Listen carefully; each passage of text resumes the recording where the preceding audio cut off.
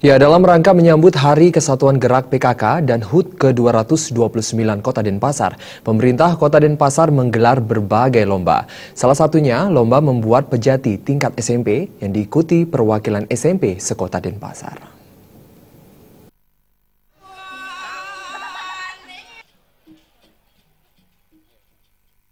Dalam rangka menyambut Hari Kesatuan Gerak PKK dan HUT Kota Denpasar, berbagai kegiatan telah dilaksanakan seperti lomba, di antaranya lomba membuat pejati untuk tingkat SMP dan lomba mencepat untuk usia lanjut.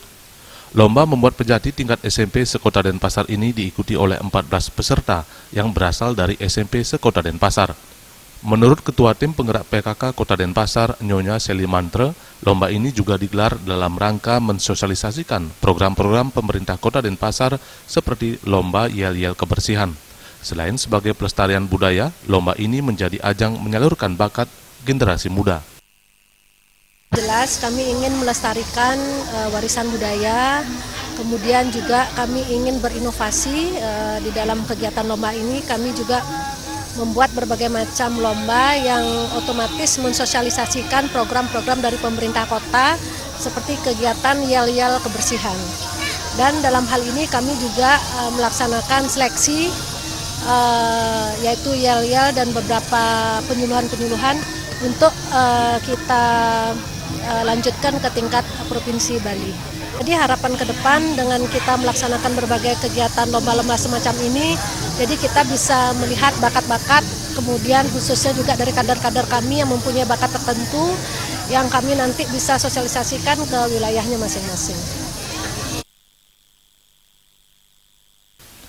Sementara Wali Kota Denpasar, Rai Darmo Wijaya Mantro mengatakan, lomba ini menjadi salah satu upaya pelestarian budaya secara berkelanjutan.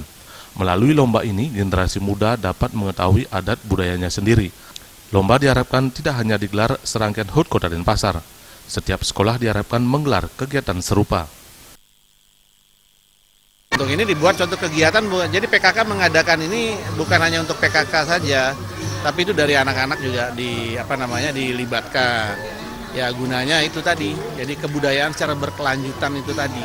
Jadi jangan sampai mereka itu lupa dengan akar budayanya itu yang paling penting jadi setiap tahun dan setiap ada hal-hal yang memang momennya bisa masuk dilakukan kegiatan-kegiatan itu. Ini bukan hanya di uh, dalam momen ulang tahun ini aja ulang tahun kota aja tapi di sekolah-sekolah juga sudah mulai ya. Sekolah-sekolah sudah mulai untuk melakukan hal udah lama udah lama udah lama sekali. Para pemenang lomba kali ini nantinya akan menerima hadiah dan menjadi wakil kota Denpasar dalam lomba di tingkat provinsi. Uh, nomor undi 0 Bayudi Bali TV